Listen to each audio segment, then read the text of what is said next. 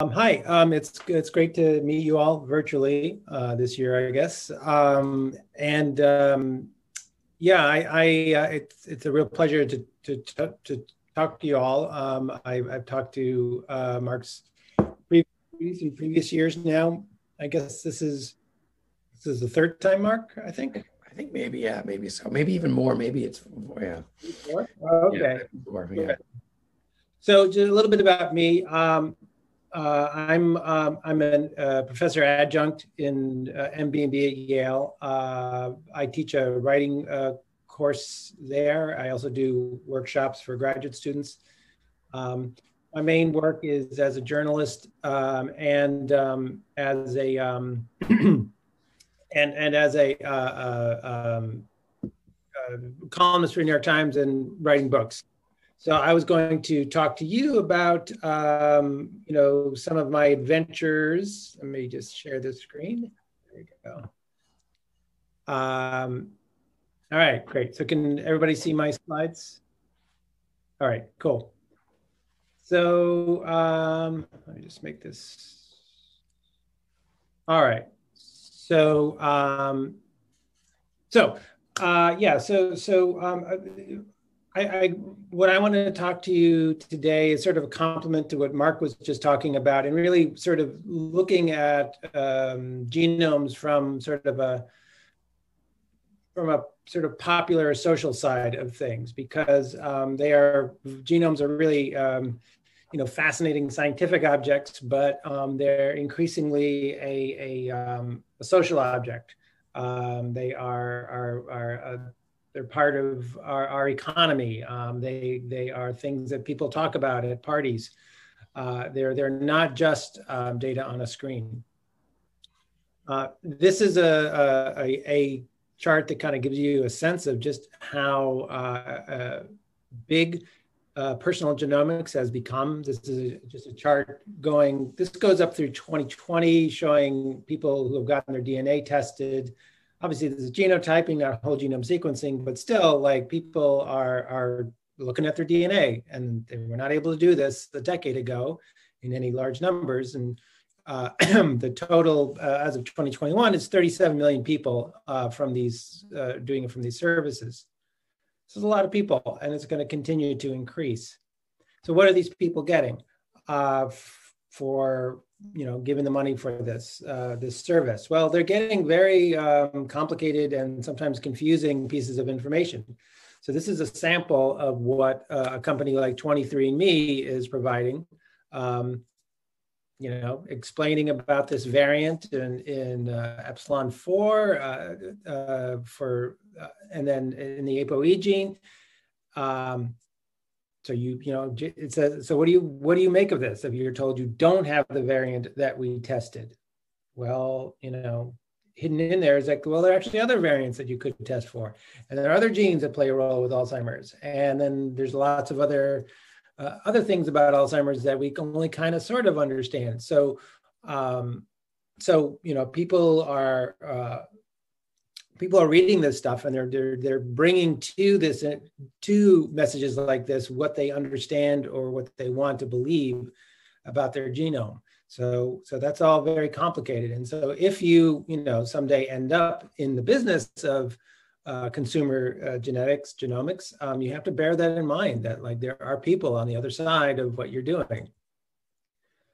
Um, this is another kind of thing that uh, these companies are delivering um, they are providing um, inferences of ancestry. Uh, and people really love this stuff. Um, you know, what does it mean that your ancestry comes from something like this? Uh, does, you know, what, which of these circles matter to you and don't? And what, how are you going to define uh, your heritage based on this kind of information?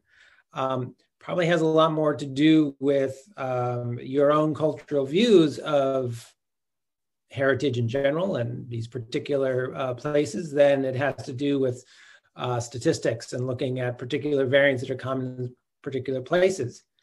Um, and you know, the one of the reasons that um, that these companies are booming and making so much money uh, uh with these tests is that they can um, they can play on on our our notions of what is in our genome.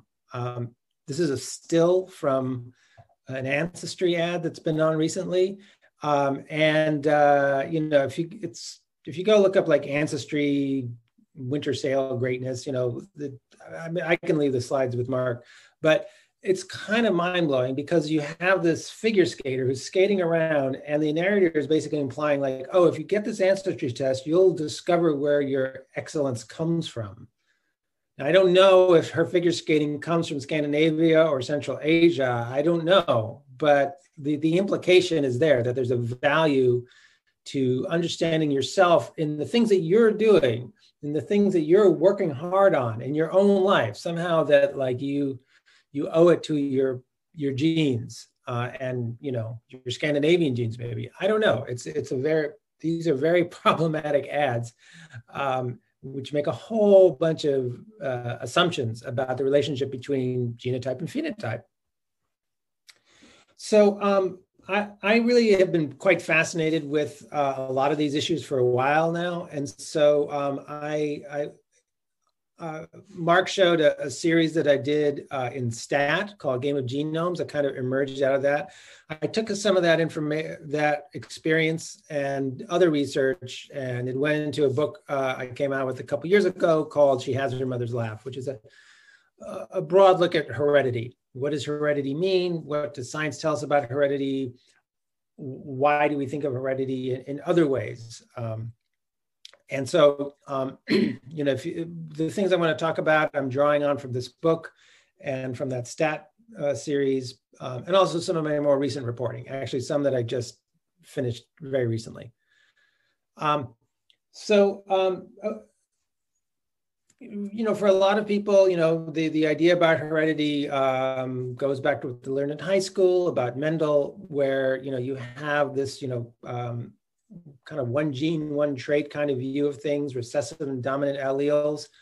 Um, and, um, you know, th this was, it's, it's kind of hard to uh, appreciate that for a long time um, in the early 1900s, like this really was largely the view of genetics, that there was a gene for, for every trait. Um, and that uh, and that you could explain uh, even human nature based on sort of these a single gene approach. Now that doesn't mean to say that that humans uh, are totally like you know above Mendel, um, and uh, you know there are some some conditions that really follow Mendel's rules very cleanly.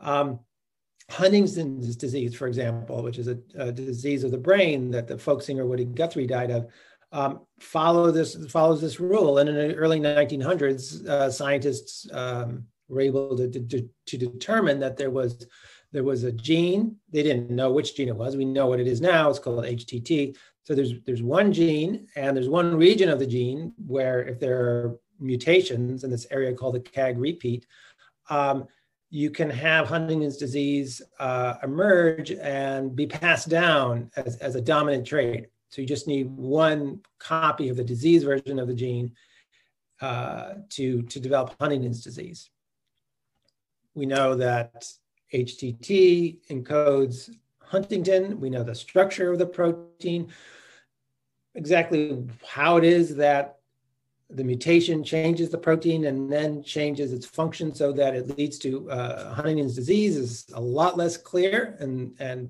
consequently um, there's no cure for it. Um, but, um, you know, it is possible to do a, a predictive test you know, uh, are you going to develop Huntington's disease? Um, and and it, it's it's a pretty straightforward thing again because there's one gene and it's dominant. There's some subtleties in it, but you know, compared to other things, it's it's pretty straightforward. Of course, when there's no cure, you know, a lot of people who have parents with Huntington's disease don't actually take this test um, because they feel, well, what do I do with this information?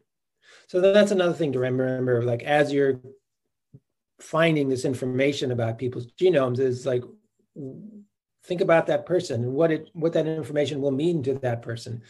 Um, is it something they'd rather not know?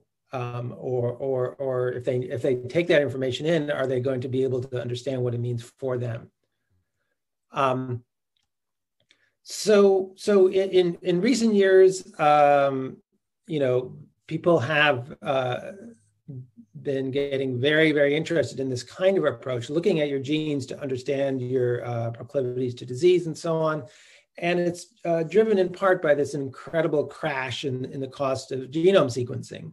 Um, first genome, the, co- the cost, which was roughly 20 years ago that they published the first draft, was about $3 billion, if I correct, recall correctly. Um, this chart just shows, uh, from NIH, shows you on a logarithmic scale, I'll point out, just how dramatically uh, the cost has crashed. By comparison, Moore's law is uh, what you know now allows me to like have uh, way more computing power on my phone than sent astronauts to the moon in the 60s. Um, but and yet, you know, cost per human genome totally blows that away. So, so we really are in this incredible revolution where now human genomes are within our grasp. Um, so a few years ago, when this was still um, kind of a new thing, um, I took advantage of an opportunity through Illumina to get my genome sequenced. It was they were sort of doing a promotion and having meetings where you could uh, they, they would sequence your genome and have a clinical geneticist look at it. And, um, and then you go to the meeting and they talk about the promise of clinical genetics. As you can imagine, it was sort of a way for Illumina to try to make business. Um, and, um, but it was very odd getting the results back.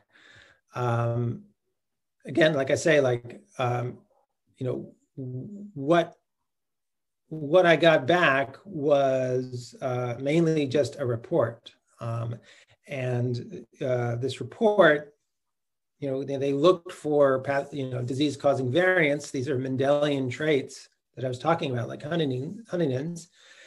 And, you know, this is what they said. No pathogenic or likely pathogenic uh, variants. Um, so that's that. um, so, yeah, you know, like I did have, you know, a couple carrier uh, variants. So that, in other words, recessive recessive diseases. So if, you know, if my my wife also had the same variants, you know, chance that our kids would have very rare genetic disorders. But we would have known that already. Our kids are 17 and 19. So, um, so you know, as a journalist, it's kind of underwhelming. Um, so Illumina, you know, also offered other ways of of, uh, of looking at at my genome. So they they are they created this browser here, which you know you can imagine that anybody aside from a geneticist is not really going to be sure how to make use of it. Um, and then they would pick out things that they thought were kind of cute, um, uh, things not related to disease, but um, really you know the communication didn't really quite succeed. Um, you know, you're there at the top. Your odds of developing male pattern baldness are increased if you're Caucasian. So I am Caucasian. I'm I'm not bald. So what do I do with that? Um, you know, your muscles are built for power. I don't think that's true in my case. So you know, I mean, so so so here here was their effort, which I don't think was very successful. So, um, so I uh, decided to get my hands on the data itself, which actually turned out to be rather hard because um, Illumina had done this basically as a essentially as a medical test. So uh, you're not actually allowed to get the raw data in a medical test, uh, strictly speaking. But as I describe in the book, I found a way around that. And one day a hard drive showed up, um, and I had my um, my genome. So I went to people like Mark and said, like, here it is. Um, I want you to help me make sense of it. I want I want to learn about how scientists study genomes and and and how heredity works by looking at at, at one genome in particular, mine. So there were lots of interesting things. Um, uh, you know, for example, we we think about disease causing variants. Um, fortunately, I didn't have any like you know, single gene Mendelian type one uh, variants that cause disease. Certainly had some that, you know, ra- raise my risk of various things um, in a sort of a complex uh, fashion. And then there are actually genes that are beneficial. Um, so I have a variant of a gene called IL23R, and I have a lower risk of certain autoimmune disorders because the variant I have in this gene, um, which is involved in immune signaling, um, it, it, it, sort of tamps down um, the signals that immune cells send to each other so that it's less likely that it's going to spiral out of control and that the immune cells are going to start attacking me, um, my own tissues. Um, so I, it was great to hear that I had that I had that protection, um, and it was very interesting that around this time a drug called Cosentyx, which you might see on ads on TV, um, was coming on the market, which was developed through learning about this gene and about the effect that uh, mutations like mine have on it. You know, so the, the thinking was like, oh, look, people with mutations to IL-23R, certain mutations, um, are at lower risk. Why is that? What, what's the mechanism there? And can we then um, mimic that with a drug? So um, so there it is, uh, out on the market. Um, I also was, you know, interested in sort of the the ancestry side of things, um, and you know, the the this is my brother Ben, and and um, he uh, got um, a, tw- a 23andMe test, I believe, and so he had, um, you know, he had sort of a, a genotype type test, so he had like you know a million or i forget the number maybe a million uh, uh, uh, SNPs markers uh, from his his dna that were, were identified um, and that was enough for um, Yaniv Erlich and colleagues. Um, they had a, a, company called DNA.land um, to just take a look and show us um, how how our chromosomes show that we're related. So you recall, you know, meiosis and recombination, so that um, so that my brother and I do not share identical genomes, even though we have the same parents, but we do share very long stretches of identical DNA um, because there's only been, you know, essentially, you know, one generation of the shuffling of DNA um, before producing gametes. So, you know, when you see something like this, a comparison between you and someone else, you know that they're closely related to you. Um, so that's, you know, like I, I, didn't need that to know that, but it's interesting.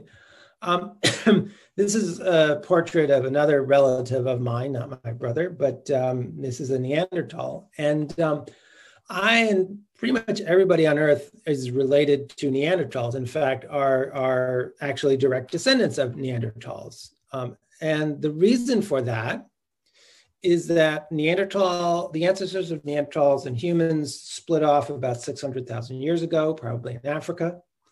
Uh, the Neanderthal lineage spread out uh, into uh, Europe and Asia, um, and over the next couple hundred thousand years, split into two big lineages, one called Neanderthals in Europe and Central Asia, one called Denisovans uh, over in uh, Eastern Asia. And then much later, um, there was one particularly big wave of humans, uh, modern humans, that emerged, expanded out of Africa um, and encountered Neanderthals and Denisovans, interbred with them. And Neanderthal genes and Denisovan genes entered the, the modern human gene pool and have been passed down ever since. Um, and through uh, you know migrations and contact with people, um, pretty much everybody has certainly has Neanderthal DNA, including Africans, because there were reverse migrations back into Africa thousands of years ago. Um, Denisovans, you know, um, very their DNA is very common, uh, particularly in New Guinea, less so in East Asia, um, also present in Australia. Um, somewhat in, in Native Americans, not so much in Europeans or, or Africans.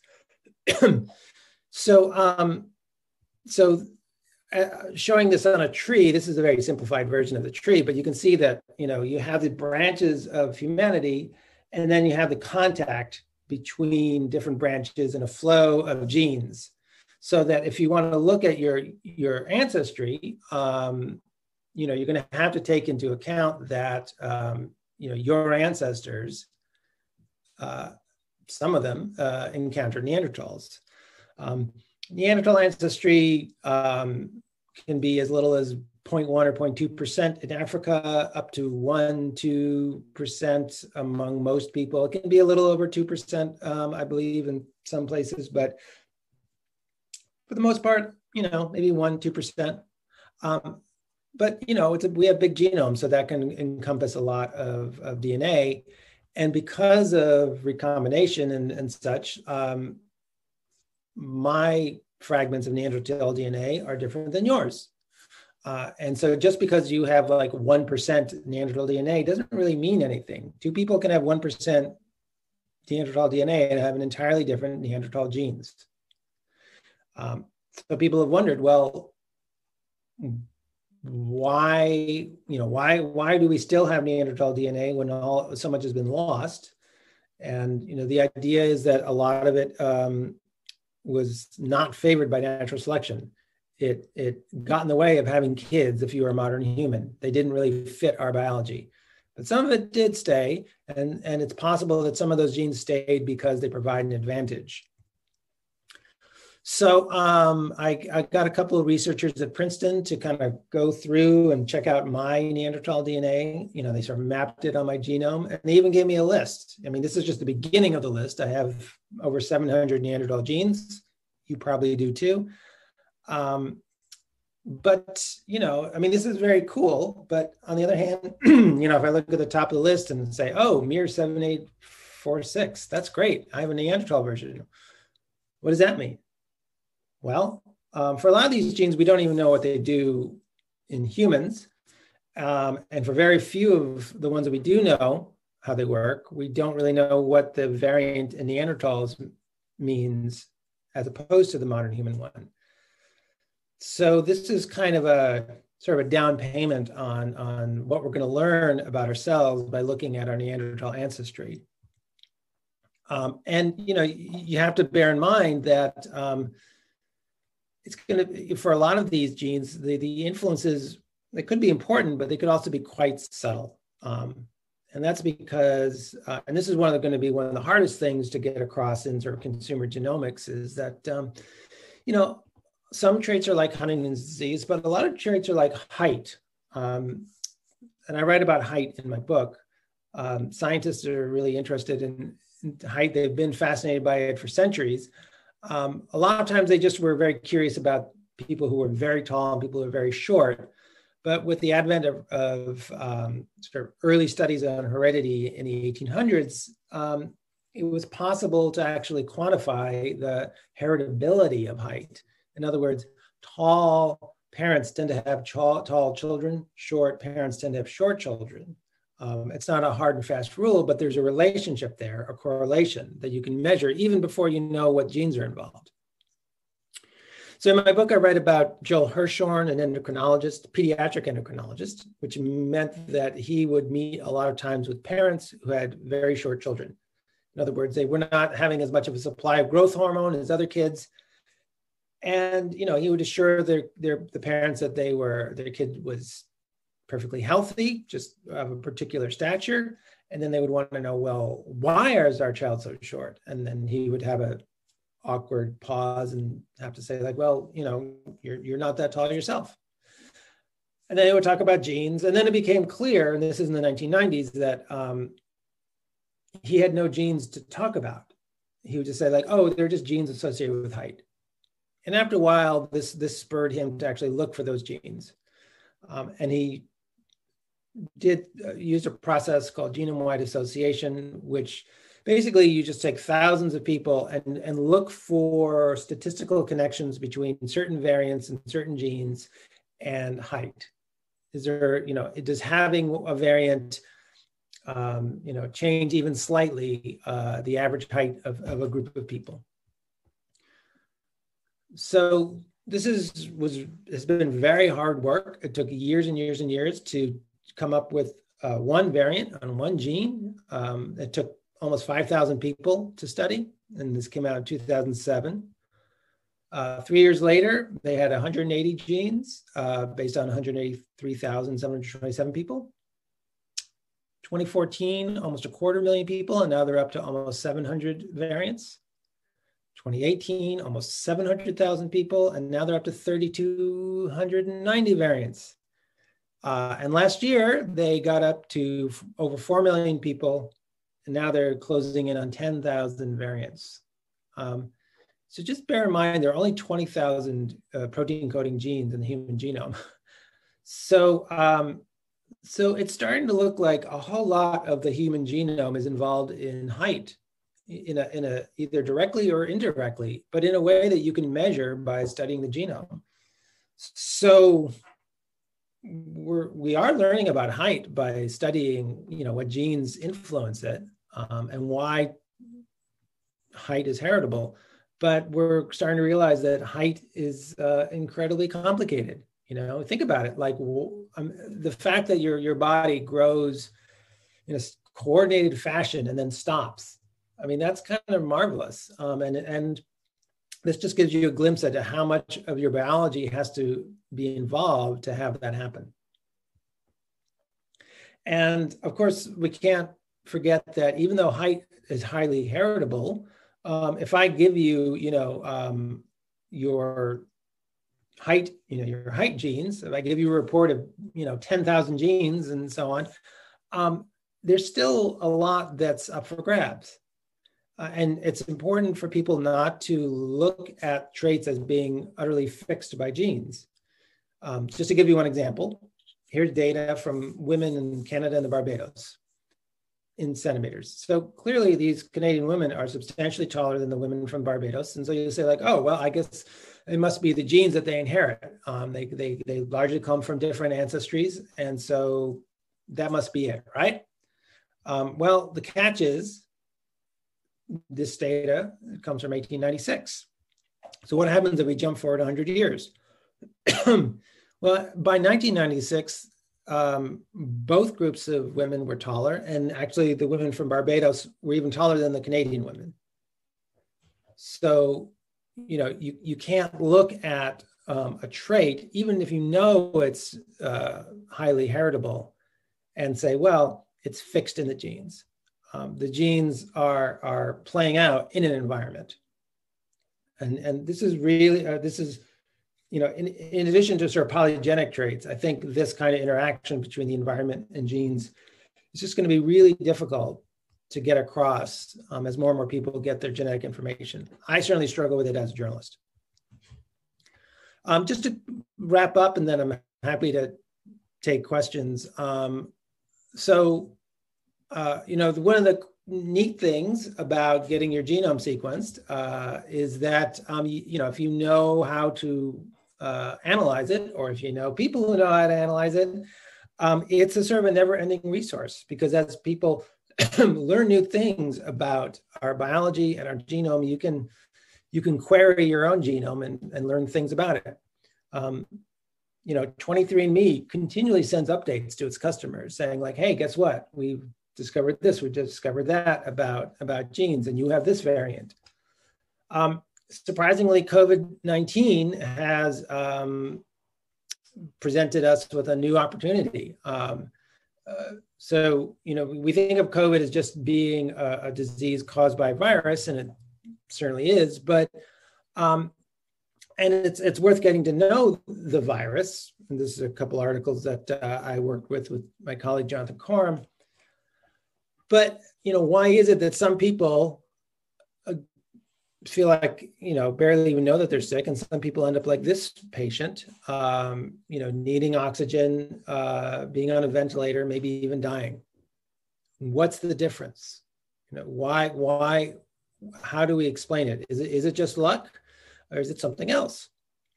so scientists have been making lots of comparisons. I'll just show you one example of, of this where um, in in uh, the United Kingdom, they uh, took advantage of their national healthcare system and a, and a large um, a medical database there, and they were able to, uh, you know, looking at um, millions of people, were able to sort of come up with these kinds of, of risk ratios.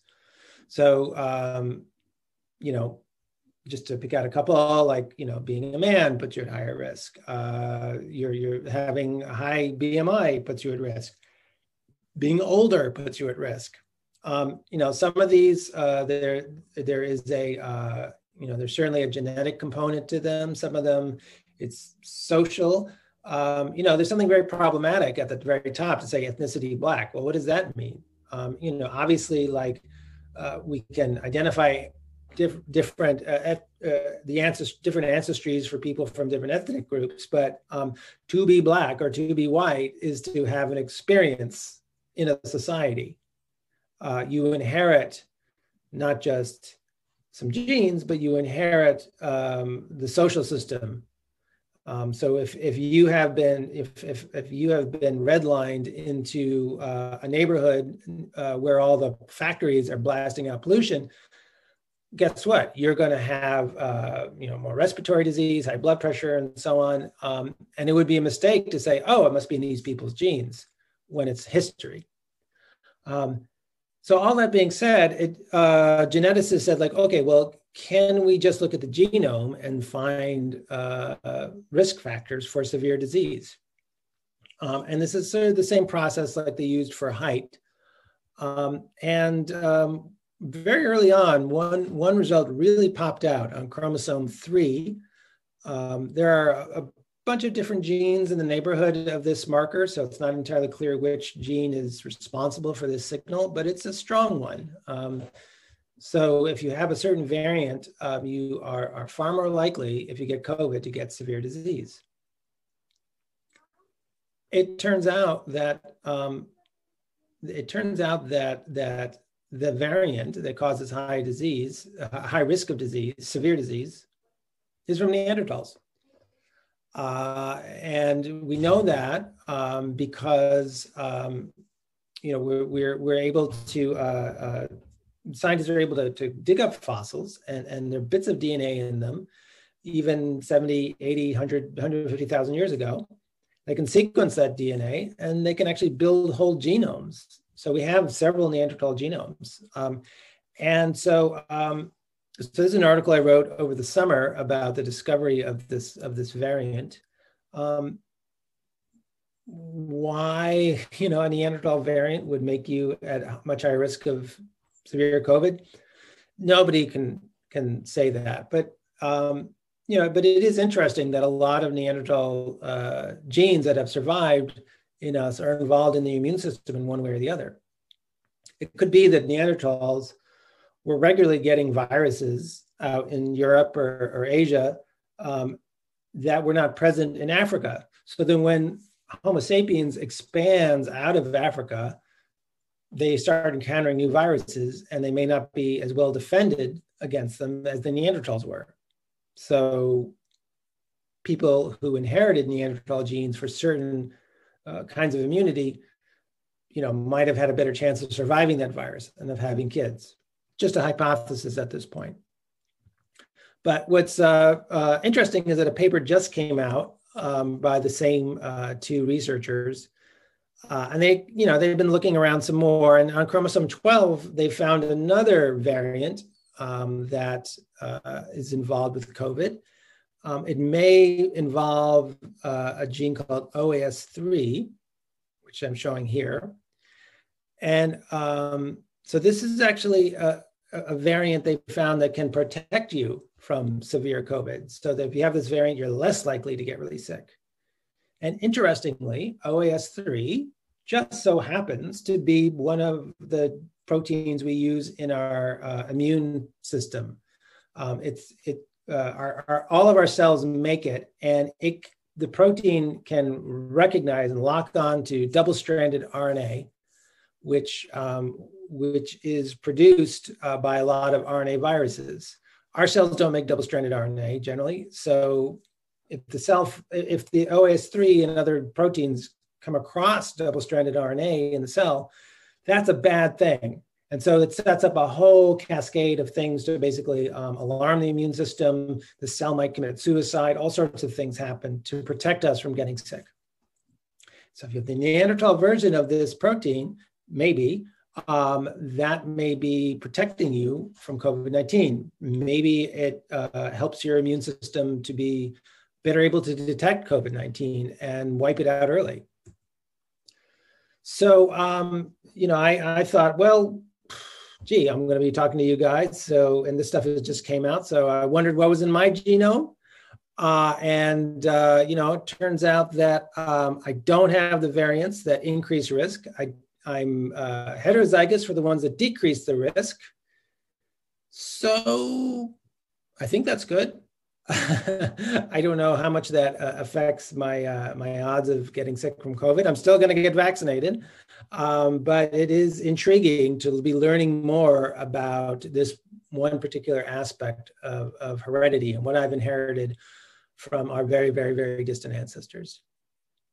Um, so um, just wanted to, to give you that kind of uh, tour of, of all the things that people can find in their genomes. And, uh, you know, I, I, I will look very much forward to your rummaging around and trying to find uh, new things, surprising things. Uh, you know, Mark, Mark still has my genome. It hasn't changed uh, since then. My genome is my genome. So um, yeah, so so I'll look forward to hearing what, what you find out, found out and happy to answer some questions.